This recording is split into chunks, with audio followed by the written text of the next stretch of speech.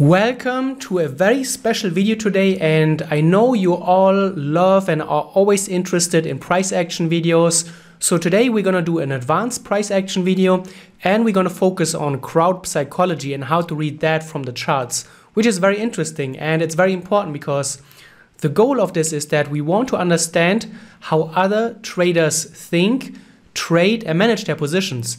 So where do they get in? Where do they get out? Where do they feel pain in their positions? Where do you feel greed in a position? And that is all very, very important. And to understand that on a chart, we're going to look at different concepts trend maturity, trend context, exhaustion, profit taking, momentum distributions, fake out, and weaknesses. And there are a few questions that I always like to ask myself when I look at a chart. First, how long has the trend that we are looking at been going on? Is the trend just getting started? Is it still very young? Or is it mature? Has it already been going on for a while? And then, how is the market trading around new highs and new lows? In an uptrend, is the market easily able to push through a new high or a new low? Or do we already see signs of weaknesses? And then we can ask, is the weakness likely to be caused by profit taking? So are there traders who are taking profits and that is a very, very important question to ask because that will help us understand is a trend likely to keep going or are we looking at a potential trend reversal? And those are very, very important things that will help us trade much better. So let's start with our first chart study. And what are we seeing here? Clearly, the market has been going higher, right? And what do we see? We are making higher highs and higher lows. The bullish trend waves, here you can see like this one, or here the bullish phases are much longer and stronger also than the bearish phases, which are very short or sideways. So we are clearly in an uptrend and the uptrend has been going on for a long time. When we zoom out, we see that there is a huge resistance level here to the left. So we have to be aware of that because other traders will be aware of that. And not only other traders, if you see that there are historical levels, maybe even a big moving average like the daily 100, the daily 200, even financial media, TV, newspapers will talk about it, and therefore more traders will be aware of that. So this is very, very important. If there's something that other traders are looking at, especially if it's something that is very objective, like historic highs and lows or an important moving average, that is something that you have to note. However, just because the market is at a historic high or a previous resistance level, it doesn't automatically mean we are going to go short. We just going to be very, very careful and observe the price action slowly because if we want to go short, we have to see signs of exhaustion first. We want to see signs that the people who bought this market up, who are sitting on profits, are taking profits. And we want to see signs of weaknesses because that is very important. And so when we look at trends and momentum and the buyers and the sellers, the price moves higher on your chart when there are more buyers than sellers. That's clear, right? They have to be more buyers than sellers, and then the price will move higher.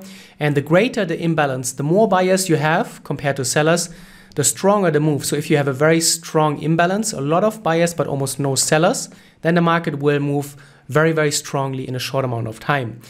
And then what happens as a trend matures, as the price keeps moving higher and higher, more traders will have unrealized profits, right? Looking back here, if you maybe bought down here or maybe you bought here in the next rally, then as a trend moves higher, you have profits, right, that are in your broker.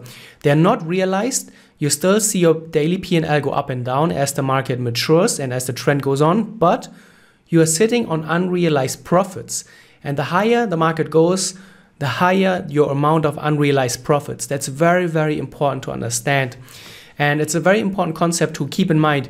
You're not only looking at abstract candles here, there are people and investors and governments and central banks and banks buying and selling assets on uh, that you're looking at on your chart. So there's way more going on than just the candle that you see on your price chart. And it's always interesting to ask yourself, do we have a lot of traders who probably sit on a lot of unrealized profits right now? Yes, probably, because the market has been going higher and it had to go higher because there were more buyers than sellers and all of those buyers have now a lot of unrealized profits. So as a trend matures and as a trend keeps going and going, the more unrealized profits there are, it will also make profit taking more likely. Because obviously the more profits someone has, the more he's probably going to be on the on the finger with the mouse on the exit button on ready to close the position. Maybe they have their target somewhere up there. So as we move higher the likelihood of the traders to start thinking about profit taking increases and then once you see the first signs of weaknesses, that's often going to lead to a domino effect because then often the fear and the panic, panic sets in. And we can see that from the price action. So we're zooming in a little bit here on the last part. And what we see is that we are we have the last high here, then we have a little bit of a dip and the market is back at the highs. So this is not exhaustion yet. We have a very strong breakout candle and then the next candle is just more of a neutral doji, right? So no signs of weakness. So we have to wait a little bit longer. The profit taking looks very different on your charts and the panic especially. This is what you have been waiting for. We want to see the market move higher, get above the previous high, and then fall back. And we have to fall back with a lot of momentum. That is the key. We want to see a sudden increase in selling activity. And we want to see the selling activity increase at a previous high in a mature uptrend. And what happens now? Think about it. Think about you. If you have been maybe long up to uh, here on the way up, and then you are hoping for a continuation, right? And here on the green candle, first of all, you look quite confident that the continuation is going to happen. But then the doji is going to make you a little bit worried, maybe not 100% enough yet to close the position, but you maybe start doubting your position. Then the next candle, that's where you're going to be a little bit more nervous and more traders are probably going to think about profit taking. You are maybe long from somewhere down here and you have a good amount of profits. And now you can see overnight from this candle to this candle, a lot of your unrealized profits evaporated. And you see this huge candle with a fake out. The market tried to move higher but got taken out. We moved lower. And that is very, very important. And this is where suddenly you're going to see panic selling come in because as the market moves lower and is not able to break higher, more people are going to see that and they're going to be scared. And then they're going to, what they're going to think? They're going to think that if I don't exit now, then I will give back maybe even more of my profits, and then, will I, I will have left maybe nothing or just maybe a fraction of what I previously had in my broker account. So then this is where often the panic selling comes in, and this is then where the domino effect comes in, where suddenly traders shift from greed that they want to continue the way up here, just they want to see the trend continuation, and it shifts towards uh, towards fear, from greed to fear. And the fear now drives the market or drives the people to close their position. And that is very important. We can zoom in and we go to a lower time frame. And the momentum flush, the profit taking is very, very obvious on a lower time frame because those candles really stand out. And you can see suddenly we have huge red candles at a previous high, which we have not seen before.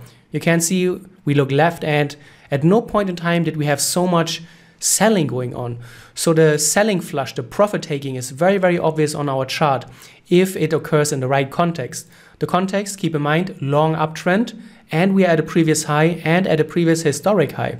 So there's a lot of things coming together here. Then you can see what happens afterwards. After the momentum flush here, we come back and retest the previous low. So you can see previous support is now maybe turning into resistance. And that's going to be probably the last straw for a lot of those buyers.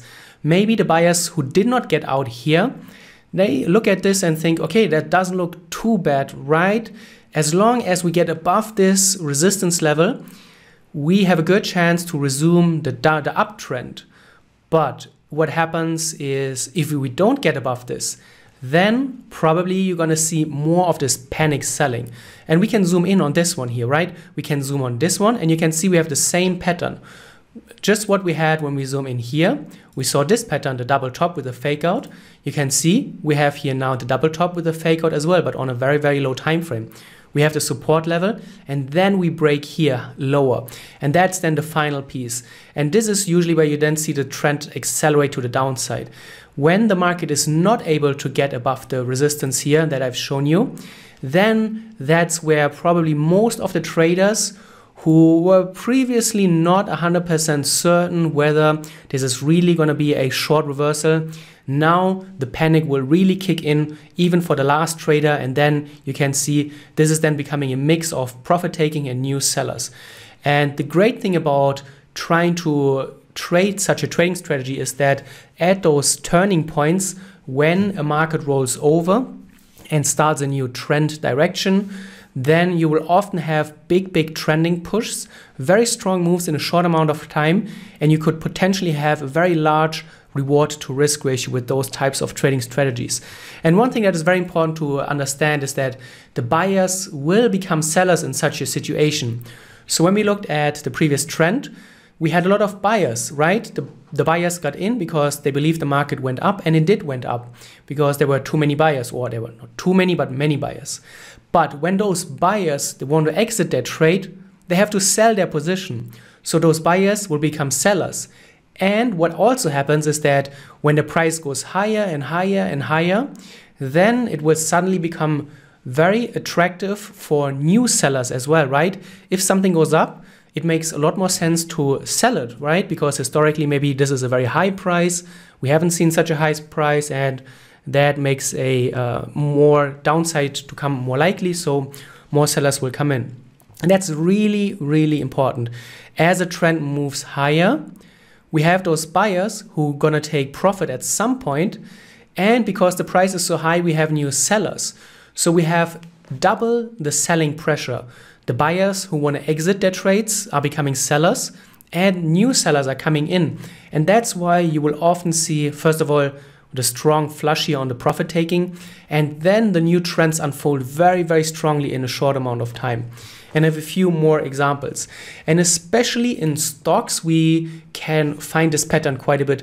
So this is the S&P. This is the 2008 chart, but I have seen this pattern in uh, 2020, 2015, but you can go all the way back to 1920s. And most of the stock market crashes or at least whenever the market had a very significant bearish reaction, you will find this pattern. What do we have with the pattern? First of all, we have a long uptrend, right? That's good. We have a mature trend, and the longer the trend has been going on, the more profit taking is likely. Then we have the double top here. The market tried to push higher, but it failed. And when when this is visible on your charts, what's going to happen? We're going to have a lot of buyers who are sitting on profits, unrealized profits, now starting to worry about their, their trade because this doesn't look good for a buying opportunity. This doesn't look good if you are betting on more bullishness. This feels a little bit like a double top, right? And then you can see suddenly those buyers who are sitting on their profits are probably going to take profits, and that's going to increase here the, the downside pressure. A lot of selling. And then we have lower highs here. You can see we have lower highs coming afterwards. We have a support turns into resistance. So suddenly the market is not able to break above those important barriers, which it was in the past was very easy for the market to break uh, above a resistance level. Now not. And we have short momentum. You can see we have strong and long selling sequences after the double top, even here when we had a short sell-off, but after the double top, here on the next lower high, and then here potentially if we see that more selling, that's going to seal the deal. You can we have you can see here we have retest momentum and we have the sell-off momentum after the double top. Especially those momentum periods after you see a fake out or a double top, you have to be aware of them because that's often the sign that you have profit taking, especially if you are coming from a long mature uptrend. And then you can see this is the double effect that I was talking about. First of all, we have profit taking of the buyers, which is short pressure, but we also have new sellers who are coming in who are seeing this pattern. This is what you would call a dead cat bounce pattern. And you can Google for that and you will find that this is how it looks. It doesn't have to be a double top, but what is typical about a dead cat bounce pattern is that you have a lower high after an uptrend and then you have the sell off. This is a very, very profitable pattern. You will find this especially on stocks very, very often. And this pattern has been working for the last 100 years. You will find this even if you go back 100 years. This is the current S&P chart. You can see 2022. This is where we were. And what you can see, we had also, well, first of all, a major uptrend. Then we had here a failed continuation. Then, this is the key, we have the momentum flush, right? Profit taking and probably a lot of sellers who are trading the breakout, which also happened here, by the way. We had the double top with the doji, and then you can see suddenly strong, strong selling coming into the market. This is panic selling. You can see that during an uptrend, the price moves moderately up, but during a downtrend, the profit taking and the selling is really accelerating this effect. And that's the key here. We want to look for, and we really want to see those momentum flushes, those huge momentum candles coming in. Then we want to see the market making lower high. If previous supports turns into resistance, that's the key. And you can even add a fib from here to here. We have a 38.2 fib and you can see we have the momentum retest candle and then afterwards the market really collapsed. So this is the current chart um, or at least in the beginning of the year. But again we have the dead cat bounce. We have a mature trend double top fake out strong selling flush lower highs and then afterwards the market collapse. And you will find this pattern on the S&P or on any others indices indice for uh, decades and decades in the past Another example, and you can use this checklist. Yes, we have a mature trend. You can see the market has been going higher for a while. We have a multi-top, so we have this resistance level that the market was not able to break through. We have equal highs and we have deceleration. The candles are getting smaller and smaller, so loss of momentum. And all of this is going to start cause a lot of doubts for the buyers. Everybody who bought this market up is probably now going to wonder, does it make sense to stick to the long or is there a good chance that we're going to see a reversal? I would say right now, as long as the market is in this triangle, it's maybe 50 50. So, especially the prof uh, professional traders, um, not going to start doubting their position as long as you are in the range. But as soon as we see a little bit more profit taking here, or at least more downside pressure, then this effect will be exaggerated. And this is where we have the first sign of uh, momentum here on the short side, right? You can see we suddenly have a strong period of selling. We break through a low after the failed breakout and we get out of the pattern. So at this point, it will be very clear that we are suddenly seeing bearish pressure. And so everyone, or not everyone, but many traders who bought this up, who suddenly see that their profits are shrinking, are going to worry. And the more they worry, the more fears kicking in, the more they are likely to take profits. And the more traders that are taking profits here, the more pressure we have on the downside. And you can see we have here our first price hurdle, the weekly pivot. We break and retest it very easily, and then we move into the next consolidation. So this is a very, very important pattern to understand. We want to see, or we can always use this checklist. We want to see a mature trend. The longer the trend has been going on, the better, because that means more traders have more profits. And then once you see signs of weakness and you see the momentum kicking in, that's really where you want to pay attention to because that's such an important piece of information. Another example, we have a downtrend here, right? And we don't want to fight the trends. Just because the market has been going down for a long time, it doesn't mean we're automatically going to go long. We need to see signs that the powers are shifting. That's very, very important. Otherwise, what happens is that you see a downtrend, you automatically go long, and that will not work over the long term. We have to see clear signs that the powers are shifting. So for that, we could use a, a, pivot point, maybe. We could also use support and resistance levels. We see the double bottom that the market struggled with. We see previous support turning into resistance, and then again on the breakout, it's becoming support potentially. And that's the first sign of power shifting. Once you see that the market is breaking previous support resistance and not able to continue lower, that's a first sign that something is changing here. And you see a little bit more bullish pressure. Then you can see on the retest, we have a lot more bullish pressure. So here we can see we have probably a lot of momentum kicking in. Traders who previously sold this market, who were sitting on a lot of unrealized profits are going to see that. They're going to see the pivot here that is being retested as support which is not a very bearish signal. It's quite a bullish signal. And at this point, more and more traders who, are, who were short are probably going to start thinking about um, at least exiting that trade, but it's uh, still going to contribute to more bullish pressure. And then you can see we really explode here. The first trending phase after the turnaround is very strong. That's where usually the profit taking and the new sellers are overlapping. And then you can see the new trend unfolds until here we have a power shift.